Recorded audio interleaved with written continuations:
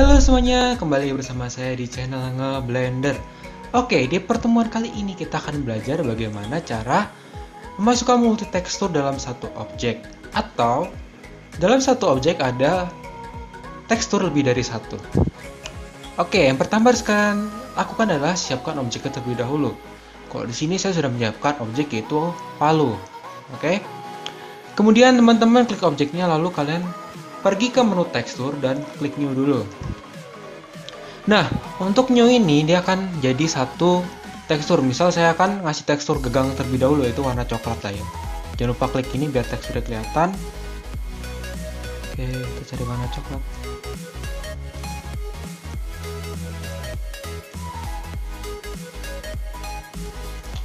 Oke, sudah.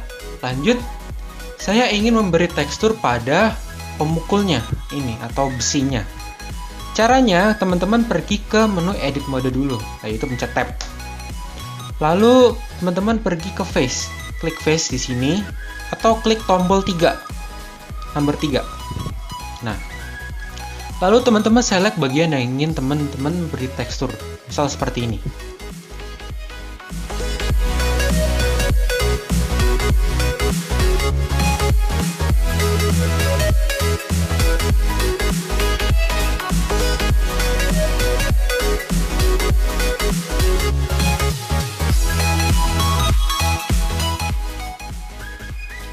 Oke, ketika sudah seperti ini, teman-teman tinggal klik tanda panah di sini untuk menambahkan tekstur baru. Ketika sudah, klik new, lalu teman-teman pilih warna abu-abu misalnya. Oke, mungkin segini cukup. Lalu teman-teman klik assign. Oke, kemudian objek itu akan berubah menjadi warna sesuai yang kita pilih tadi. Kemudian saya akan memberikan tekstur lebih metal dikit atau lebih mengkilap. Kita pergi ke menu render view dulu. Oh iya, jangan lupa kita pindah ke class dulu di sini. Sip.